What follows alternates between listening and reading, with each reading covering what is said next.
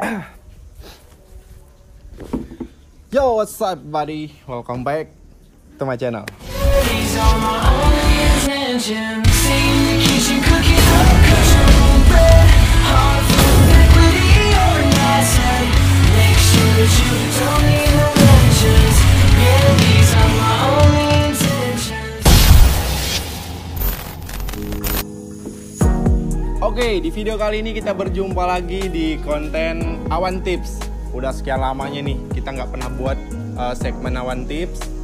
Dan kita habiskan waktu dengan BMX vlogger semua. Awan Trik pun jarang. Nah, sekarang kita balik lagi nih di Awan Tips ya.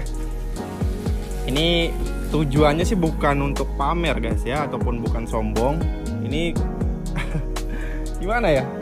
Karena banyak sekali yang meremehkan eh, harga sepeda BMX itu guys. Dibanding-bandingkan gitu loh sama orang-orang. Sebenarnya mereka belum tahu aja harga spare part BMX itu bisa mengalahkan harga motor. Wah gila sih. Ini bukan aku berbicara bukan full bike-nya ya. Full bike mengalahkan harga motor ataupun semacamnya. Bahkan bisa satu part aja itu bisa mengalahkan harga handphone Android kalian. Bahkan barang-barang branded kalian. Oke sekarang kita bakalan cek harga spare part sepeda BMX itu berapa sih gitu kan? Dan apa sih yang buat mahal? Nah kayak gitulah.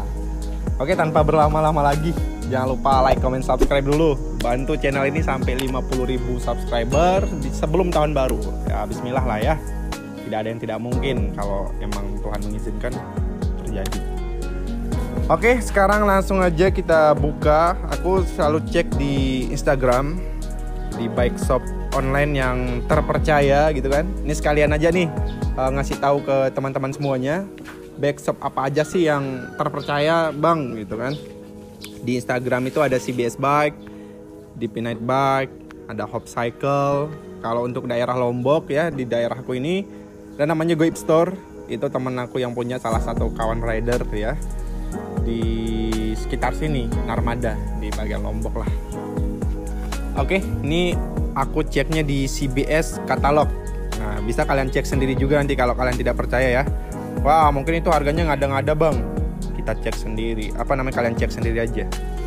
Oke di sini kita mulai dari nih harga stang ya atau bar. Ini harganya untuk merek Federal. Ini harganya 1.200.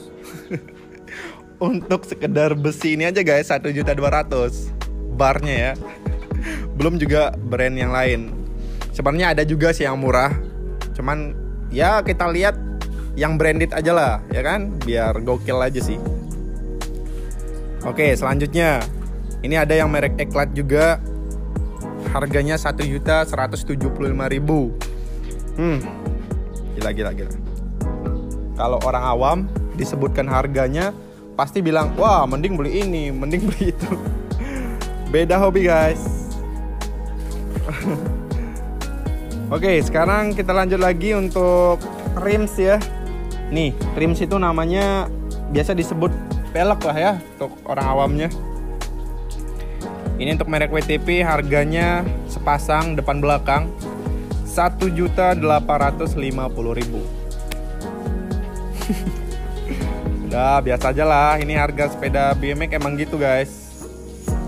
Oke, itu untuk rimsnya. Nah, kalau untuk ini ya, ada gripsnya aja ini namanya grips. Ini harganya untuk merek WTP 230.000. Masih wajar nggak? Ya wajar lah ya. 230.000 Hmm Apalagi nih Oke kita lanjut dari uh, Biasa disebut dengan Keset hub Kalau teman-teman nggak tahu keset hub itu Gear belakang Yang nyambung Yang sekaligus nyambung dengan hubnya Atau trommel Nah ini bahasa awam ya trommel untuk merek WTP harganya 2.750.000 dan itu belum komplit. itu cuman keset hubnya aja ya, 2.750.000. Nah, ini bisa kalian lihat. Aku tampilkan di sebelah layar aja lah. Gila sih. Oh, ini yang hybrid, guys. Wah, ini aku baru baca nih, yang hybrid. Nah, hybrid ini bisa jadi pre-coaster, bisa jadi cassette hub. Oh iya iya iya iya iya. I see, I see. Ternyata udah ready di CBS Bike ya. Ini aku baru lihat nih. Ini satu hari yang lalu di post guys. Wah, ternyata ini barangnya baru sampai. Ini keren nih. Produknya bisa jadi free coaster ataupun cassette hub. Jadi free coaster, cuma nanti bisa jadi cassette bunyi dia. Wah, keren sih. Biasanya kalau free coaster itu bunyinya sunyi, sepi, ya kan? kalau cassette wah, tahu sendirilah sensasinya. Wah, pantesan harganya 2.750.000. Mantap, mantap, mantap.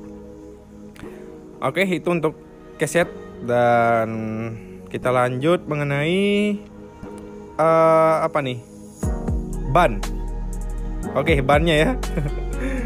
Oke, kita lihat harga ban. Ini yang merek Flybikes Ruben Rampera. Ukuran 2,35. Ini harganya 950.000 sepasang.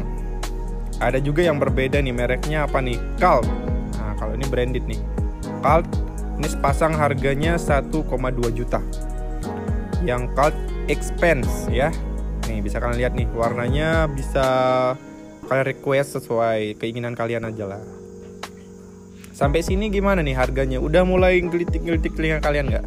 Mending beli apa nih?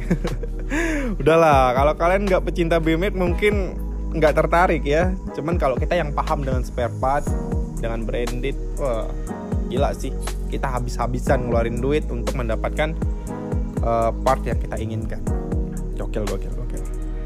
Untuk stem, nah stem nih nih kepala dari sepeda ini ya, kepala sepeda. Ini untuk merek Subrosa. Subrosa oh enggak Sedo nih. Untuk brand Sedo harganya 800.000 untuk stemnya doang. Stemnya doang ya. Ini ada pilihan warna merah dan biru. Ada juga yang merek Snafu. Snafu V2 top load. Ini harganya 1,5 juta gila untuk ukuran stem aja 1,5 juta. Parah parah parah. Ini aku uh, random ya. Uh, part pemula part intermediate part pro semuanya aku random biar teman-teman tahu harganya gitu loh. Yang dari harga bawah sampai maksimal. Itu berapa sih? Ini snafu nih yang pro banget untuk pak sih biasa. Ini yang punya CBS pakai dia. Dan ada merek apa nih nah ini si Home BMX ini wah ini aku baru nemu nih. Home BMX Stem. Aku baru tahu juga ada brand merek seperti ini. Harganya 1.050 ada warna hitam dan chrome aksen chrome nih. Cuman keterangannya yang warna hitam udah sold out. Oke 1.050 harganya.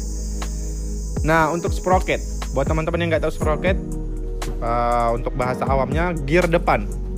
Gear depan ya untuk merek BSD ini harganya 875.000 lengkap dengan sprocket guardnya pelindung gearnya ketika kalian melakukan track green dan yang berhubungan dengan uh, benturan-benturan lah. Dan di sini SNM nah ini SNM memang harganya gokil sih ya. Udah lengkap dengan guardnya juga. Ukuran 25T harganya 1.350.000 mantap mantap mantap. Mantap. SNM untuk gear depan aja nih. Bisa mak bisa pakai makan sebulan nggak tuh? Bisa pakai cicilan motor kita ya. Gila sih. Oke kita lanjut. Itu baru beberapa brand ya belum merek federal. Kalau merek federal nih uh, ada sih yang harga bawah gitu ya harga minimal untuk frame belum ini kita belum masuk ke soal frame nih nah ini untuk seat post untuk besi uh, saddle-nya ini harganya 425.000 merek VN. Nah, ini punyanya Renault nih, Gareth Renault. 425.000 untuk besinya yang segini loh kecilnya ya. 425. Oke, ini untuk pack. Nah, di sini aku lihat ada pack juga atau bomber. Nah, ini bahasa awam bomber. Aku sebutin bahasa awam aja biar kalian paham. Dari merek Stranger harganya 700.000 sepasang cuman dua ya harganya 700 ribu oke ini bahannya udah apa nih Oke, ada pelindung alloy-nya ya. Alloy ya. Itu plastik. Bukan alloy sih. Bukan plastik namanya. Ya, benar. Itu nilon ya. Udah pakai nilon biar licin. Oke, untuk merek Cult-nya di sini harganya 650.000 untuk sepasangnya. Ya, seperti itulah kurang lebih ya. Nah, untuk kereng ada yang untuk kereng? Kereng arm atau eh, goncangan. Waduh, ini bahasa apa nih? Goncangan. kereng arm yang merek Cult ini harganya 2.200.000. Belum pedal loh itu, cuman besinya aja. 2.200.000. Hmm, ada juga yang merek Odyssey yang LHD, tipe LHD itu lebih mahal guys. Karena wah spesial lah ya. Apalagi kalau sama lah halnya seperti orang kidal, pebulu apa kayak atlet-atlet yang menggunakan tangan kidal misalkan, tendangan kidal itu pasti biasa disebut dengan punya skill spesial lah ya. Ini untuk part BMX juga kalau yang tipe LHD agak mahal ya. Ini harganya 3 juta guys. Odyssey Thunderbolt. Ya ini mah udah wah speknya udah mantap banget lah pokoknya ya. Thunderbolt 3 juta. Oke, di sini kita masuk ke bagian fork. Fork atau garpu sepeda BMX ini ya. Ini untuk brand WTP harganya 2,6 yang battle shape. Untuk offsetnya 15 mm. 2,6 juta harganya. Battle shape fork. Mantap nih. Udah keren banget lah kalau kalian punya ini ya. Udah kuat. Ini dipakai ngedrop tinggi pun nah problem. Oke, selanjutnya di sini ada Odyssey R25 Chrome. Wah, ini yang aku pakai nih. Fork Odyssey R25. Dan harganya 3 juta juga. Sama kayak WTP Battleship. Eh, bukan sih. Iya nggak? WTP Battleship harganya berapa? 2,6 juta. Sama harganya dengan keren Odyssey Thunderbolt yang tadi. Odyssey R25 harganya 3 juta. Mantap. Oke, ini masih banyak lagi model forknya ya. Cuman ya sekilas aja lah biar kalian tahu. Nah, ini nih yang paling Wah, ini untuk headset ya. Kalau kalian tahu headset ini bagian ring-ring kecil pelor yang ada di bagian bawah kepala sepeda BMX ini. Ini harganya yang dari Cult aja ya. Yang Cult harganya 460.000. Coba nih. Yang begini aja 460.000 cuy. Waduh, bisa cicilan handphone kalian nih. Ya, yang dari Eklat harganya 450.000. WTP harganya 450.000. Oke, sebagian besar harganya 450.000 lah ya. Nah, sekarang kita masuk ke bagian frame. Nah, ini terakhir nih. Aku bahas frame.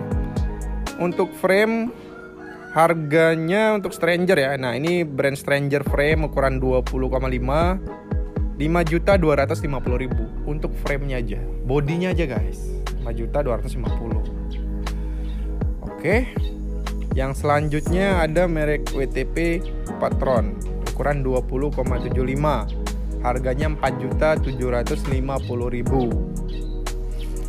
Gila, gila, gila. Oke, di sini apa nih? SNM. Wah, Aduh, ini sih harganya nggak ngotak guys ya. ini SNM harganya oke ukurannya dulu 20,8 dan harganya 7 juta cu. 7 juta untuk frame aja. 7 juta. Udah lah untuk kita nggak usah beli yang ini aja lah ya. Aku pun nggak mau beli karena kemahalan cuy. Yang beli full bike aja lah. Ini buat teman-teman yang punya rezeki lebih mungkin ya ataupun yang benar-benar pecinta BMX dan anak sultan. Ya udah beli aja SNM karena udah berkualitas dan terjamin tentunya oke. Okay. aku rasa itu aja ya. Ini masih banyak lagi sebenarnya ya. Untuk ban juga masih banyak. Cuman ya itulah sepil harga spare part BMX biar teman-teman yang awam dengan BMX tahu harganya. Wah ternyata segini ya. Wah ternyata kok bisa mahal ya. Ternyata ah ya yeah, ini aku mau jelaskan kalian kenapa part BMX ini harganya mahal-mahal. Dibandingkan dengan part sepeda BMX biasanya yang dijual sama abang-abang bengkel di rumah itu bang. Ya apa sih bedanya? Yang pertama tentunya dari kualitas dan kekuatan dan pemakaiannya juga berbeda guys. Nggak mungkin lah spare part biasa kalian gunakan untuk freestyle. Bisa sih bisa cuman pasti rusak gitu kan. Kekuatannya berbeda. Ini didesain dengan bahan yang khusus untuk digunakan freestyle. Ya misalkan digunakan untuk drop dari ketinggian sekian tentunya nggak nggak bakalan bermasalah karena emang bahannya kuat gitu kan. Digunakan 360 drop digunakan 180 drop atau bunny hub drop dengan ketinggian yang fantastis gitu kan. Apalagi rider-rider luar itu dropnya itu bisa sampai 2 meter. Wih gila sih. Dan sepedanya itu it's okay nggak kenapa-kenapa gitu loh. Itulah penyebab harganya mahal. Dan branded juga sih. Dari namanya kalau udah terkenal hype ya samalah dengan fashion gitu kan. Baju kalau udah namanya tinggi pasti mahal karena branded. Itu aja sih. Oke aku rasa videonya cuman sampai di sini aja. Semoga bisa memberikan pencerahan untuk kalian eh, yang nggak tahu soal BMX dan harganya berapa gitu ya. Oke jangan lupa like comment dan subscribe. Kita ketemu lagi di video selanjutnya. See you next time and keep riding. bro